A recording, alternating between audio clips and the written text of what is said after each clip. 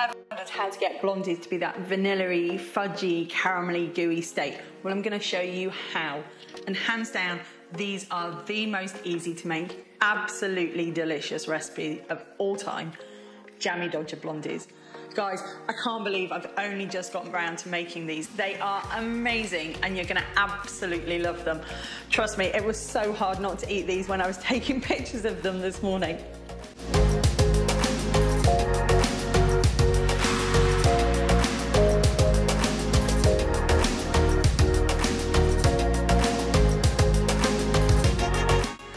First things first, if you've never heard of a Jammie Dodger before, let me welcome you to an icon of the British biscuit tin for over 60 years. Two buttery shortbread biscuits, sweet raspberry jam, and that cute little heart cutout. These Dodgers are calling out to be stuffed into a blondie. Let's start with a little prep and then we'll get baking. Before we get stuck into the ingredients, you're gonna want to preheat the oven. That's 180 degrees C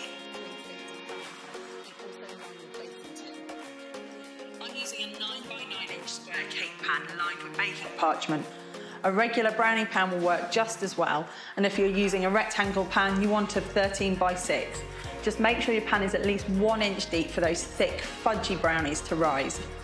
So I'm greasing my pan and parchment paper with a little homemade paper leaf, and you'll find the recipe today check out those clothes pegs. They're my top tip to keeping that parchment from folding over onto the blondie batter whilst it bakes. Okay, let's head over to the ingredients. And in a large bowl, I'm putting it up with my scissors.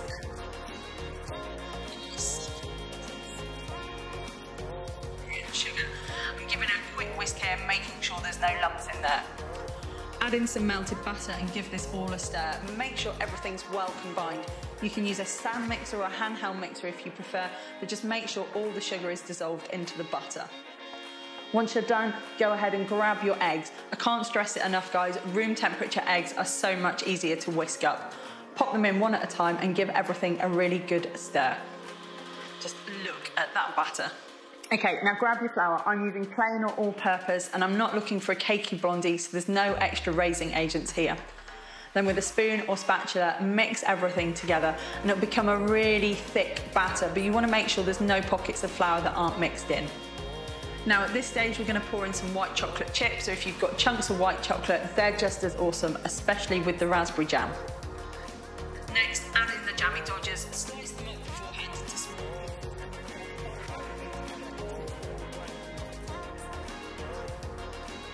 Now, grab your lined cake pan and we're gonna pour in that delicious batter. Pour it all in and then once it's in there, use a palette knife or a spatula to flatten it all out. You wanna try and get it as even across the whole pan as possible. And if you want to, we're gonna pop in a little extra raspberry jam and give it a swirl all over the top. Then we're gonna add in some more jammie dodgers on the top and give them a push into the batter. It helps them stay in place whilst it's baking. Then it's into the oven at 180 degrees C or 350 Fahrenheit degrees, and they're gonna take about 30 to 35 minutes for these to cook. You guys, the blondies are done and it smells amazing in here. It really does. Now here's my next top tip.